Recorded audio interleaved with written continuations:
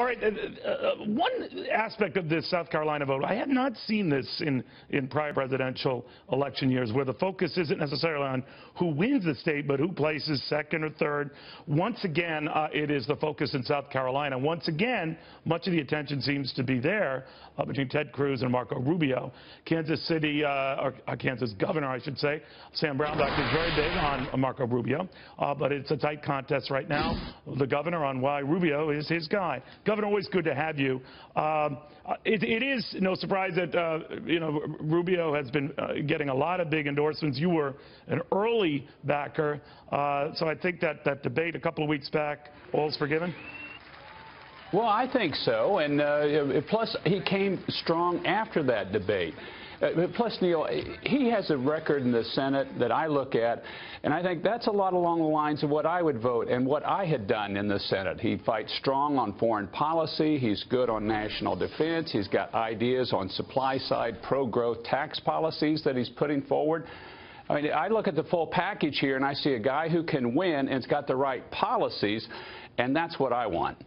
All right. Now, uh, would you be satisfied with any of the other candidates, though, should Senator Rubio not pull this off? In other words, Donald Trump. Would you be okay with, with him as your nominee? Well, I mean, uh, this is against Bernie Sanders, uh, a guy that's an open socialist. Yes. Uh, How about but I against think Hillary Clinton? Uh, yes, I okay. would. Uh, because when you look at, she's moving so far left, and I don't think she really believes these things, honestly, Neil, but she's moving that far left, and it's going to be harmful to the country near term and long term.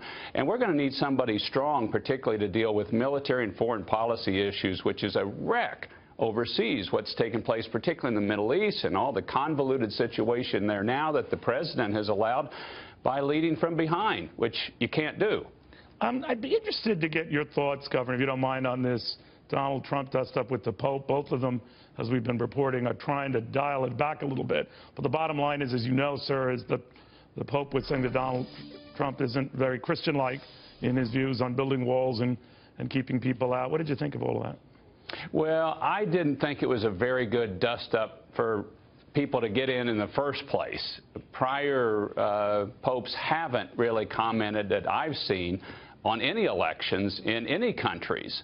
And so I, I, can see why people are trying to dial this back, saying this is just not a constructive thing to engage in in that sort of discussion in, a, in an electoral situation in any country, United States or other.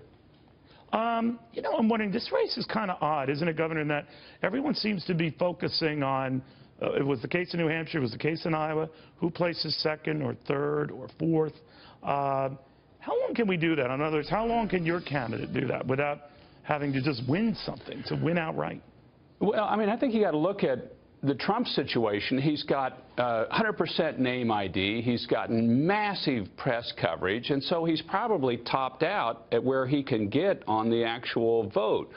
But that's not at over 50%. You know, you're looking at in the 30%. So as the field winnows down, more and more people that, that leave that field, their, can, their support goes to the remaining candidates. So who's ever left in second to Trump probably ends up winning, actually. Or you may end up know, with a three-way I mean, race. A, you need a single survivor, right? I mean, to, to do that. I mean, if there are two or three, I understand what you're saying. You, you need to whittle down that alternative. But by then, given the way delegates are awarded, uh, Governor, you could have Donald Trump in that. And if he, if he scores as polls indicate right now he will, and even follow-up primary states where he's polling, at least for the time being, with double-digit leads in a majority of them, do you then think that by that time, even if it gets down to one or two guys, as an alternative, it's, it's almost too late? I don't think it's too late. And plus, as I was going to uh, say there, you could end up with three candidates, each with a fair block of votes and nobody with the nomination going into the convention. And then you get the, the brokered situation, which is a yeah. very live possibility as you winnow this field down to two or three candidates.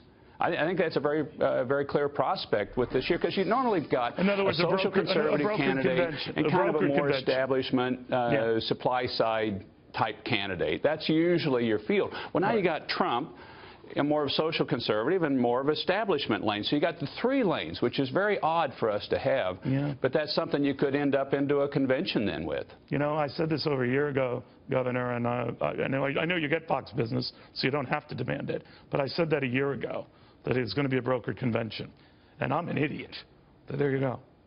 Uh, And it, it, this very well could, because it's just an odd setup for us. It we is. haven't seen this sort of alignment in a lot of years. It isn't the end of the world, though. To you know, if you think about No. it, uh, on, on both sides, uh, both parties have had such conventions, and No, it, okay. it's not the end of the world at all. But the, the dichotomy between the two sides is probably as large as you've ever seen or that I have in recent history. You're right about that, Governor. Always a pleasure having you, sir. Thank you for taking the time.